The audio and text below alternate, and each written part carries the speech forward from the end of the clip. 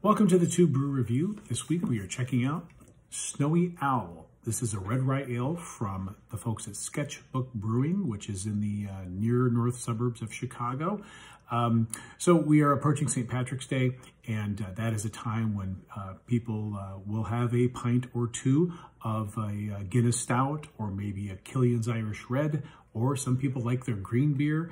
Uh, so I thought I would uh, try a, a, red ale, but something that's a, that's a little bit different and locally produced. Uh, so this has a touch of rye in it. So uh, red ales are usually kind of malt forward. They use, you know, caramel malts and they've got a little bit of sweetness to them and the hops are somewhat subdued.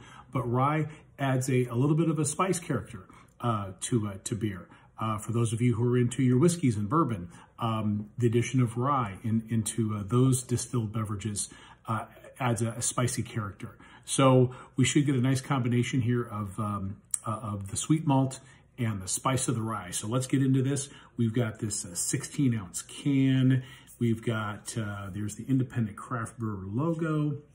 Um, yeah, 5.6% ABV. So, you know, moderate to uh, uh, on the lower end of, of, alcohol, which is most of these uh, Irish ales should be. Uh, they are they are sessionable beers. Uh, says it is made with uh, caramel malts and and rye malts. Uh, other than that, keep cold, drink fresh, pretty, pretty straightforward. So let's go ahead and pop this guy open.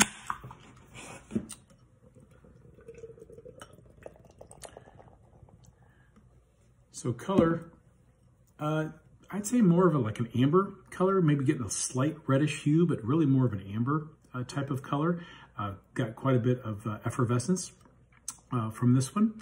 And uh, these beers can be uh, can be well carbonated. Got a really nice, thick, pillowy head though. Uh, very, uh, uh, very pretty looking beer, if not as red as I, I would imagine it to be. Ooh, yeah. So uh, certainly getting the combination of the kind of the sweet caramel notes, but also the aromatics. I'm getting kind of a a, a pine type of hop aromatic. Not really pulling the rye, but I'm sure it'll come in in the flavor. Cheers. Hmm. So yeah, good, um, good balance. Um, it, it's still pretty malt forward. Um, the hops are there. I am getting, uh, it says it's kind of a West Coast uh, hop edition, which would indicate kind of pine and citrus type of hops.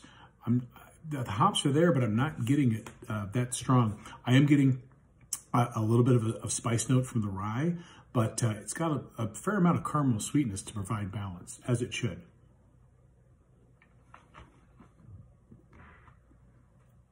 Yeah, it's um, I would call this malt forward. Um, I, again, the, the, rye and the hops are definitely minor players in this in this beer. Uh, I thought it might be like a hoppy hoppy red ale, but not the case. Um, got a, a, a, nice mouthfeel. It's you know medium body. It's got some really good carbonation to it, so it really helps with the uh, with the aftertaste.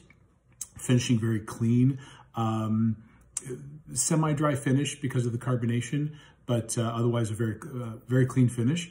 Um, but uh, yeah, very tasty. Um, I think it definitely stays in the lane of being a red ale and it's not too hoppy like a, a I, I've had some hoppy red ales that are more like red IPAs. This is definitely a caramel sweetness, malt forward uh, red ale with just a little uh, hit of spice from the rye as well as from some of the West Coast hops. So yeah, very good sipper. So consider this, uh, consider putting this beer into your St. Patrick's Day rotation for your, uh, if you need to get your red ale fix on um, for the uh, for the upcoming holiday. Uh, and uh, hope you have a safe and happy St. Patrick's Day. Sláinte.